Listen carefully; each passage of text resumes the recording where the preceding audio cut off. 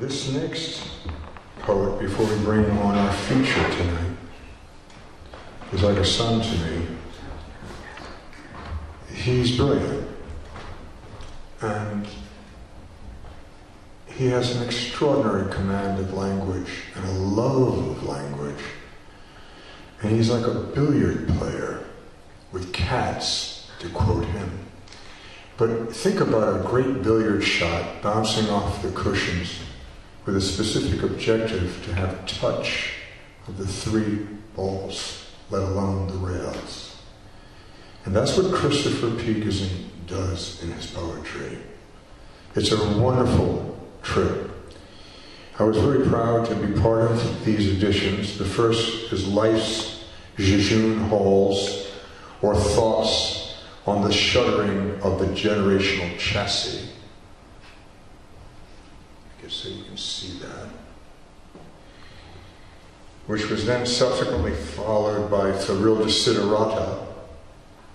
These are amazing collections. I highly recommend their investigation. Christopher P. Gazeent, would you grace us, sir?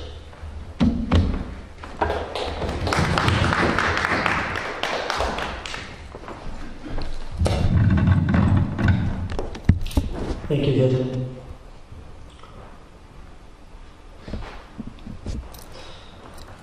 In on December 18th, 2019, I was blessed with a new nephew,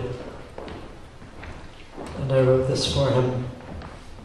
His name is Edward, but his nickname is Cheerio because when he had his first um, sonogram, the technician said, Oh, he's just a little Cheerio. Phases for Cheerio. The evidence of suffering is inadmissible in the court of archangels and thus man crawls tentatively out of the womb of the earth. A new beginning comes from the origin of all life, a future that cannot be predicted by any soothsayer. A royal name portends adventure from the hilt of the sword to the tip of the blade. It's up to you, little one, to fill the storybook with faces and names and memories. Through all the phases of the moon, through every season, each decade of the millennium, you will bravely chase your shadow down the fairy tale brick boulevard. Like a pen that suddenly appears to jot down the heartaches and aspirations of an entire race, the clean slate of a new mind will be there to record the goings on of this surface of humanity and to annotate it with the innocence and wisdom of a newborn sea, ready to lap gently over the beach of time and leave its tiny footprints. Yeah. The antiseptic properties of tears. 1. I stood atop the grandest mountain, and what a view there would have been if only there had been light to see by. Clutching the breast of Mother Earth, entreating for mercy, I wait in the hallowed halls of learning for the shadow puppet of a snake to creep around the corner. Nothing looks the same as in the movies, and the images are all distorted.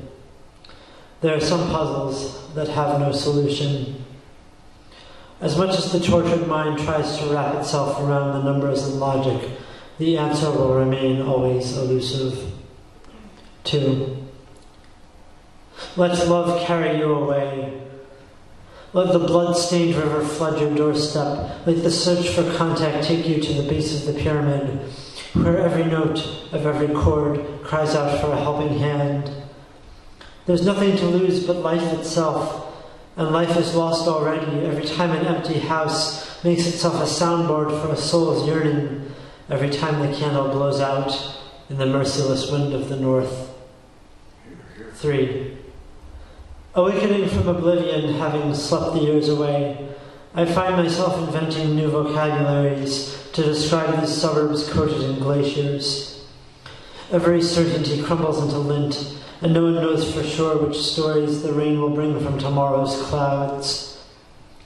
True darkness is not a lack of light, but a lack of love. The blank sky challenges us to find meaning, to insert syllables into the poem which we are all writing together.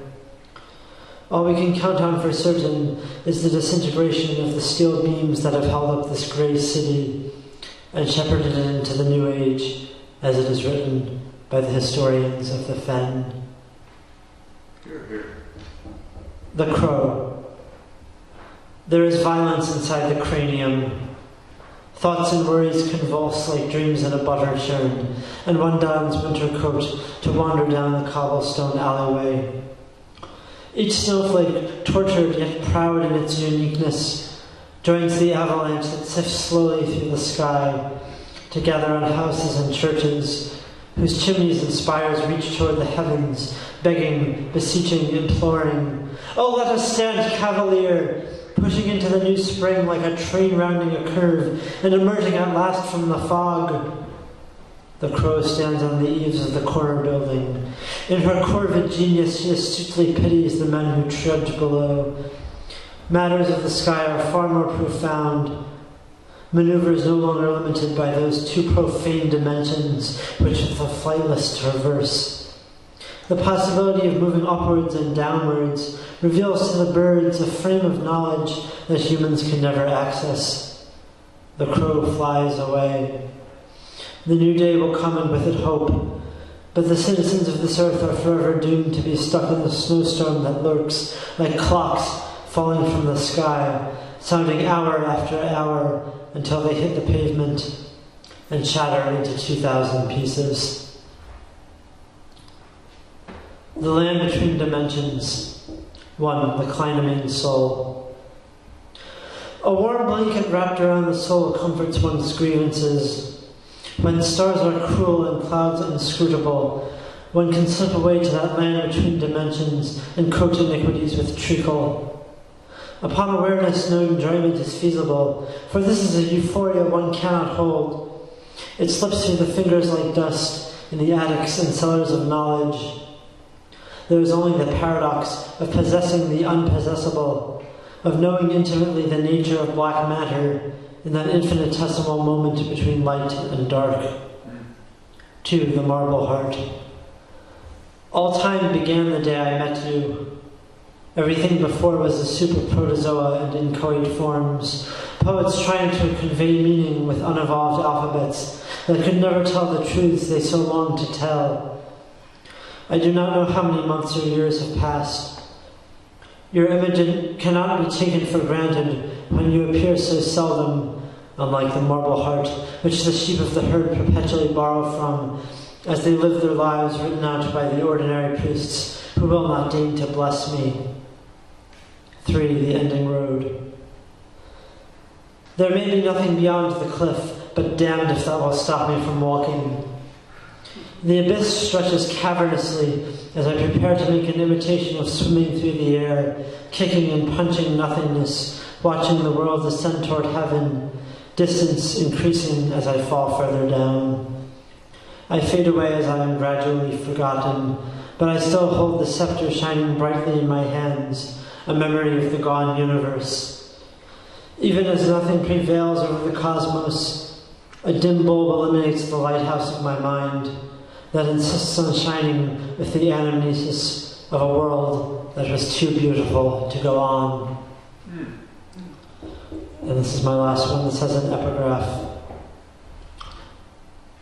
Broken. She lives with a broken man, a cracked polystyrene man who just crumbles and burns Radiohead. I am truly a broken man, popsicle stick skeleton collapsing, glue melting as I hide in the chimney breathing smoke. You fell victim to the untrustworthiness of photographs.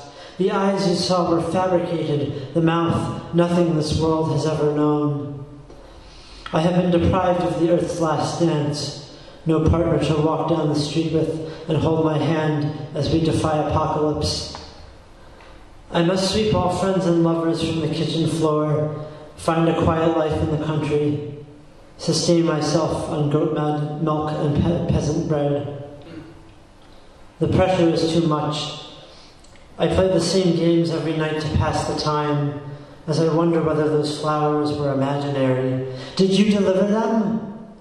The revolution refuses to happen. Momentum extinguished on the locomotive. Peons staying home and bowing to the king rather than risk their lives at the barricade. The pieces of my soul lie shattered in the field, but someday they will coalesce way up in the sky, so high you can barely see them. Then everyone will know of my story if they look very closely through their spiritual binoculars. Perhaps someone will even write it down. Thank you for listening.